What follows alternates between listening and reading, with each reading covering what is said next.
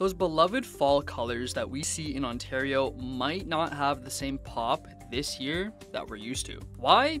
Drought stricken forests. So, how could the hot and dry conditions we saw this summer affect Canada's fall foliage? Well, typically, as the days shorten, green chlorophyll in tree leaves starts to break down and reveals the yellow and orange pigments underneath. Some trees, such as maple, oak, and sumac, synthesize a pigment in the autumn responsible for turning their leaves into the reds and purples associated with the most brilliant foliage. But if a tree is too stressed, such as from intense drought, the leaves may die off before that new pigment can fully develop and give off its most vibrant color. And then we have this week of cooler weather and cooler weather at night, and that's a cue that fall is co- coming for these plants.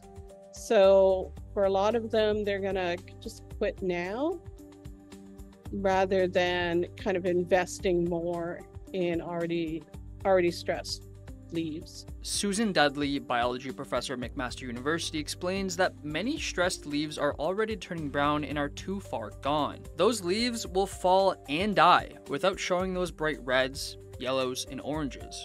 Dudley worries that the intense wildfire season we had in Canada may impact the leaves as well. Because all that forest fire smoke is a bunch of active chemicals that can provide cues for plants to uh, to go into senescence to start dying back. But there may be hope if Mother Nature stays on our side. If the weather conditions stay optimal, Dudley says some trees still may show those fall colors.